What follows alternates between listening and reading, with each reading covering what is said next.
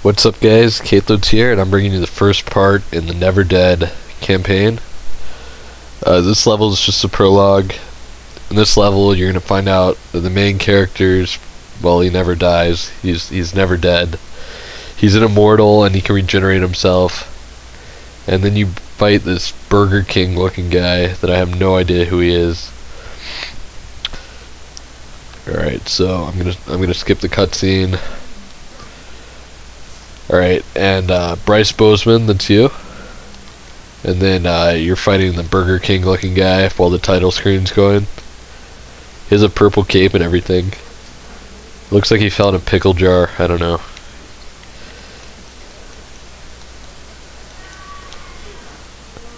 You can see here, no matter what, you, you can't die. You're never dead.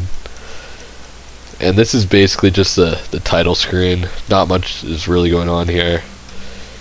And the rest of the game doesn't really play out like this too much.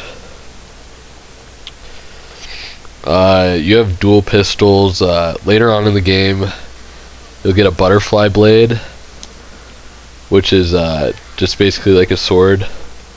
There's some pretty cool dynamics when you're uh, you're using that, but not a whole lot to this level. You should die here pretty soon. Uh, I think it just plays out like it shows you all your moves and stuff beforehand, or most of your moves. And uh, there he goes. He went down there. And that's pretty much it for the prologue level. I'll be doing a full walkthrough for this game, Never Dead. So if you guys are interested in that, make sure to subscribe, and if not, I'll see you guys later. Thanks for watching.